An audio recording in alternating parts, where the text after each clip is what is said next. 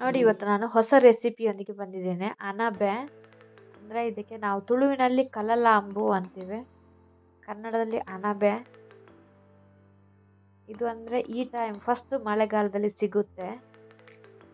ತುಂಬ ರುಚಿಕರವಾಗಿದೆ ಇದು. ತುಂಬ ಅಂದರೆ ತುಂಬ ರುಚಿಕರವಾಗಿದೆ. ಈ ಅನಬೆ, ಬೇರೆ ಅನಬೆಗಿಂತ ಇದು ತುಂಬ ರುಚಿಕರ. ತುಂಬ ಜನ ಇಷ್ಟಪಡೋದು ಇದು. ಇಷ್ಟಪಡುವ ಅನಬೆ ಇದು ನಮ್ಮ ಮಂಗಳೂರಲ್ಲಿ. ಸಿಕ್ಕಿದ್ರಂತೂ ಯಾರೂ ಬಿಡಲ್ಲ. ಇದು ಅಂದರೆ ನೆಲದಲ್ಲಿ ಸಿಗುವಂಥದ್ದು. ಕಲ್ಲು ಈ ಥರ ಜಾಸ್ತಿ ಇರುವ ಪ್ರದೇಶದಲ್ಲಿ ಇದು ಬರುತ್ತೆ. ಒಂದು ಕಡೆ ಬಂದರೆ ತುಂಬ ಬರುತ್ತೆ. ಎರಡು, ಮೂರು ಸಲ, ನಾಲ್ಕು ಸಲ ಈ ಥರ ತೆಗಿಬೋದು, ಆ ಥರ ಬರುತ್ತೆ. ಸ್ವಲ್ಪ ಮೇಲ್ಗಡೆ ಬಂದಿರುತ್ತೆ ನೆಲದ ಮೇಲೆ. ಆವಾಗ ನಮ್ಗೆ ಗೊತ್ತಾಗುತ್ತೆ ಇದು ಅನಬೆ ಇದೆ ಅಂತೇಳಿ. ಆವಾಗ ನಾವು ತೆಗಿತೇವೆ ಅದನ್ನು.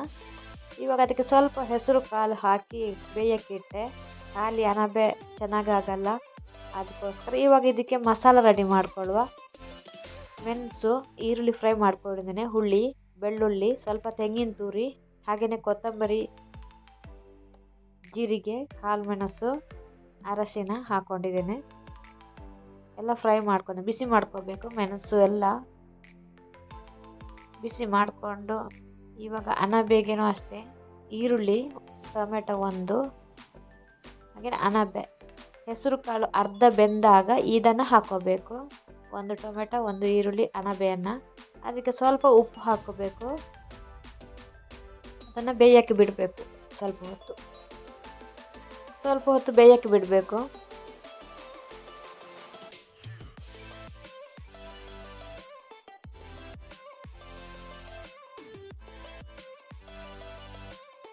ಇವಾಗ ಮಸಾಲೆಯನ್ನು ರುಬ್ಬಿದೆ. ನೈಸಾಗಿ ರುಬ್ಕೋಬೇಕು. ಅರ್ಧ ಅರ್ಧ ಇದಲ್ಲ, ನೈಸ್ ಆಗಬೇಕು ಅದಕ್ಕೆ, ತುಂಬ ಚೆನ್ನಾಗಿ ಆಗುತ್ತೆ. ಈ ಸಾರಿಗೆ ರೊಟ್ಟಿ ಅಂತ, ಅಕ್ಕಿ ರೊಟ್ಟಿ ಅಂತ ಸೂಪರ್ ಆಗಿರುತ್ತೆ. ತುಂಬ ಟೇಸ್ಟಿಯಾಗಿರುತ್ತೆ ಇವಾಗ ನೋಡಿ ಬೆಂದಿದೆ ಅದು. ಇದಕ್ಕೆ ನಾವು ಮಸಾಲ ಹಾಕೊಳ್ಳುವ. ಇದಕ್ಕೆ ಒಗ್ಗರಣೆ ಆಗಲಿ ಏನು ಇಡಬಾರ್ದು. ಅಂದರೆ ಅಣಬೆಗೆ ಯಾರು ಒಗ್ಗರಣೆ ಇಡಬಾರ್ದು ಜಾಸ್ತಿ. ಈ ಥರ ಕಾಡಲ್ಲಿ ಸಿಗುವಂಥ ಅಣಬೆಗೆಲ್ಲ ಇದಕ್ಕೆ ಒಗ್ಗರಣೆ ಇಡಲ್ಲ.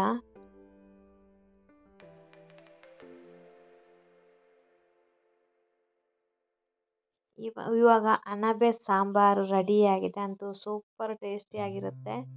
ನಮಗೂ ಇದು ಅಪರೂಪದಲ್ಲಿ ಅಪರೂಪ. ಎಲ್ಲರೂ ಇಷ್ಟಪಡ್ತಾರೆ. ಇದು ಎಲ್ಲರಿಗೂ ಸಿಗಲ್ಲ.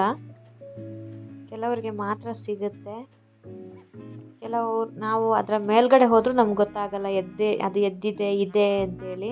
ಅಂದರೆ ಕೆಲವರಿಗೆ ಸಿಗುತ್ತೆ. ಗೊತ್ತಾಗಲ್ಲ ಒಂದೊಂದು ಸಾರಿ. ನನಗೆ ಇವತ್ತು ಇಷ್ಟು ಅನಬೆ ಸಿಕ್ಕಿದೆ.